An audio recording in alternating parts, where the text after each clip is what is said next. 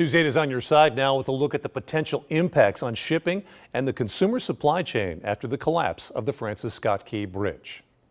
Ships are already sitting stationary in the Chesapeake Bay, unable to reach their destinations in the port of Baltimore. It will take weeks, maybe months, to clear the wreckage of the bridge and reopen the shipping lanes in and out of the port. The Baltimore port is one of the smallest container ports on the northeastern seaboard, handling about one tenth of the container volume that passes through the ports of New York and New Jersey, so those containers can likely be redirected. But the Port of Baltimore is the busiest U.S. port for car shipments, handling more than 750,000 vehicles last year. Nissan, Toyota, GM, Volvo, and Volkswagen are just a few of the car makers that ship through Baltimore. It's also the largest U.S. port by volume for handling farm and construction machinery, as well as agricultural imports like coal and sugar.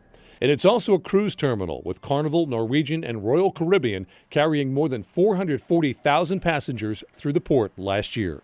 So right now, let me give you a little more perspective on how this could impact shipping traffic. This is a website called marinetraffic.com. The red and green arrows here, they represent commercial ships at sea, either tankers or cargo ships. This is the Atlantic Ocean and this is the eastern seaboard, and this dot right here is Baltimore. Let's take a closer look. Let's move in on Baltimore. Baltimore way up here, the inner harbor, and this is what's called the Northwest Harbor. A number of ships in here still currently docked, including three U.S. Navy ships. And just to the south here, this is the accident site, the site of the collision earlier this morning.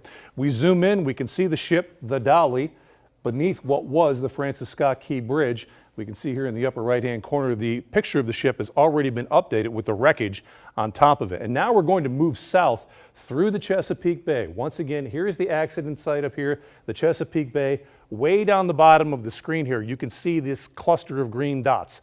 That's a cluster of ships currently anchored in the Chesapeake Bay. At least a dozen ships there right now, and that number is expected to grow because according to shipping records, approximately 30 ships currently underway at sea have Baltimore listed as their final destination.